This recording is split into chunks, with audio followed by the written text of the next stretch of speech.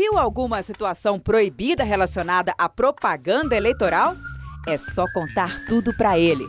Pardal é o nome do aplicativo de celular que vai receber as denúncias e colocar a boca no trombone para que as eleições sejam limpas.